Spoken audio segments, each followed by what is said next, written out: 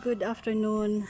On this uh, episode of my vlog, I'm going to talk about that thing hanging on the mango uh, branch, mango tree branch. That's a beehive.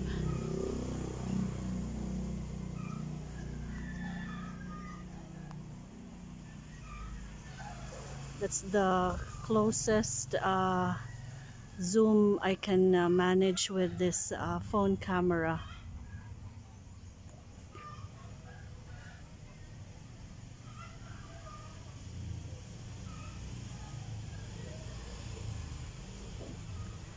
So, um, so it's been, um, it's been there since I arrived uh, last Saturday. Um, I didn't notice it immediately, but um, I think it it started the hive when I arrived. So today is Wednesday, so it's now how many days? Five. Saturday, Sunday, Monday, Tuesday. So it's been five days, and I noticed it on the second or third day, and it it already is that size when I when I started noticing it but um,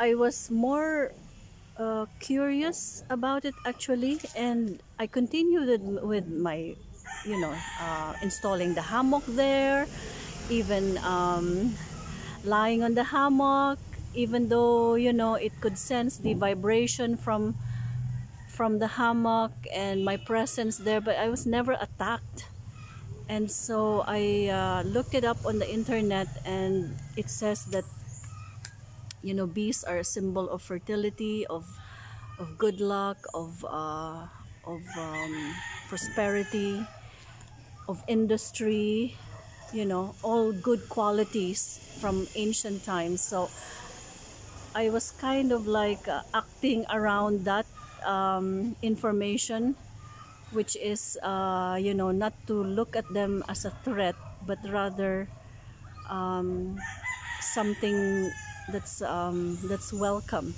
So I mentioned this to Philip and even Philip um, scolded me because uh, so on the day that I noticed uh, in the evening they came into the kitchen and started buzzing around the lights and it really became annoying because it was just so much buzzing um, flying around but they never bit me. And then when I I moved to the main house to get ready for for uh, sleeping they also followed me so they are attracted by the lights and I was just so annoyed that you know I started like waving waving my hand and I hit one and and obviously I killed it because it it fell to the floor. So at that point I was still debating whether is it really a bee or are they bees or are they wasps? But I have since um, ascertained that they are definitely bees so they are not wasps. They are not uh, anything else. So um, so that's actually a wild natural beehive that I have there which is you know um, a blessing. I consider it a blessing because in in other places in other countries you know you talk of beekeeping you want to attract bees into your garden you know like in the uk all they talk about is um, um, attracting wildlife creating a garden that is friendly to wildlife. Um, they want to attract um, butterflies, bees, because they are pollinators, you know, frogs. These are natural uh, predators, you know, for controlling, um, you know, insects. So, similar to the bees, they are desirable, desirable uh, insects to have around. Plus the fact that, of course, they they make honey. So, I did, I did consider that the fact that they have chosen to to make their nest in my house meaning they find uh, this place peaceful and they find this place like uh, a, um, home you know somewhere they cannot be disturbed. And so I have become almost like uh, a guardian to them. And even though since that the first day that I noticed them even though they come to the house they are attracted to the lights um, it's okay. I said I, I can manage with it. And everybody who comes to the house even the workers my parents everybody are horrified at the presence of of that hive over there. And I keep on telling them no let just leave leave it alone you know even my housekeeper is kind of like no I, I don't want to be working closely here you know near those things. They're gonna bite me they're gonna attack me. And I said they, no they don't attack or um, no they should be okay. And everybody says no you have to drive them away you have to um, smoke them away uh, how do you call it? Uh, make a bonfire to um, to drive them away. So I said no I think I promise that I will not have a hand whatsoever um, to get them out of, of my property. And for as long as I am here that they will remain and that I would leave it as is and would leave it to whoever is left here to um, to deal with it to drive them. Because I do think that once they are done with their business that they will just go somewhere or uh, at best you know but I think it's too early. By the time I I leave back for Saudi Arabia I don't think it's ready for collecting. I mean any honey is ready for collecting anyway. So I just didn't want to deal with it at the moment actually. Um, so uh, every time someone says oh, oh my goodness there is a beehive oh you have to remove it you know I just like dismiss it. But today uh, on the fifth day um, I have been under increasing pressure more so because we were walking toward my parents' house to um, to have lunch there with the with my th three uh, roof installers, and the uh, the owner of the store across the street called me, and I was wondering why, and and she said there is a beehive and.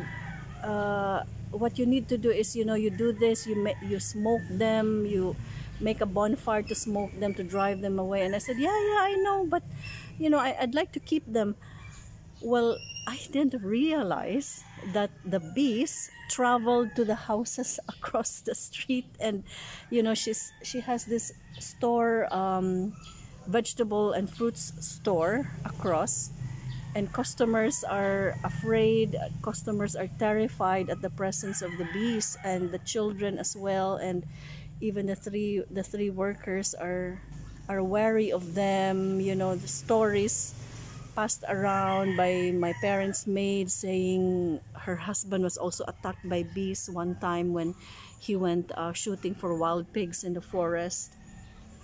So i said if it isn't threatened it really should shouldn't bother you in in any way. And um, how do you call it? And yeah for sure at night they are attracted to the lights but for as long as they they aren't threatened but yeah but then there there's the business across the street. There is the um, how do you call it? There is the uh, the, the children you know who are afraid of it. So I don't know folks uh, I have a some kind of a moral dilemma as to to what to do with it. See it's so beautiful though. This is my house roofing project going on and I'm seated here looking at the beehive and one of the workers one of the workers joked at me to say talk to them tell them not to um, venture out into the neighbors uh, neighbors uh, houses and keep keep themselves to you know to around the property. Um, I will try. I hope they're listening to me now. But um, I think sooner than I I uh, honestly want to sooner I will have to do something because now I look like I'm the bad bad guy here because I'm harboring bees in my property. And that's the sad I think reality in in this part of of um, the world you know when when bees are seen as uh, a threat you know snakes you know the wildlife. And they just don't realize that uh, somewhere else in the world they are uh, protected. They are welcome. They are you know uh, encouraged.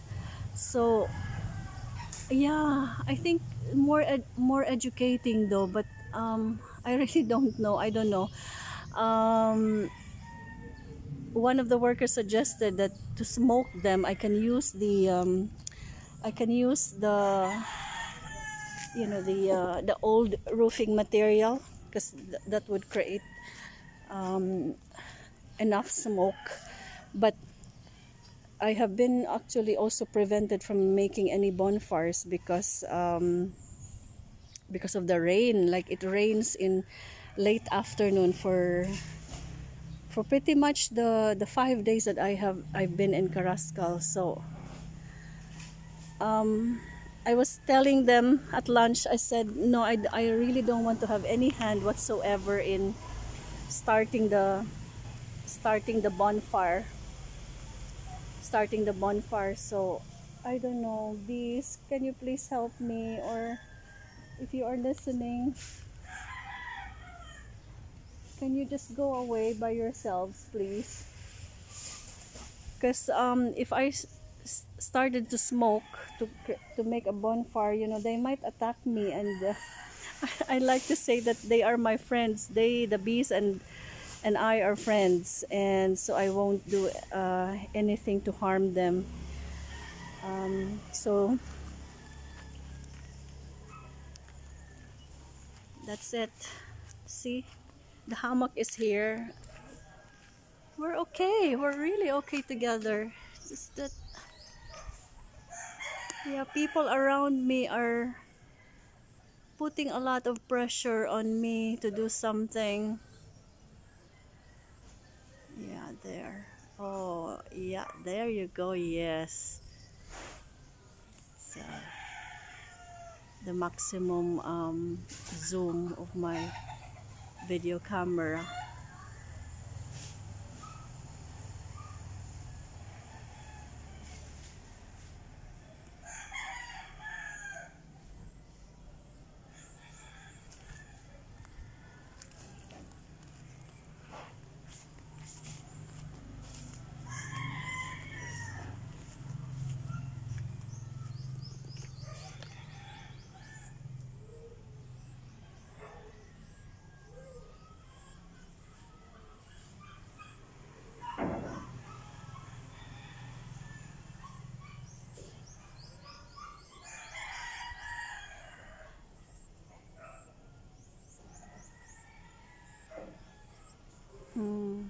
So, tell me, dear friends, what am I gonna do? I'm in a dilemma here.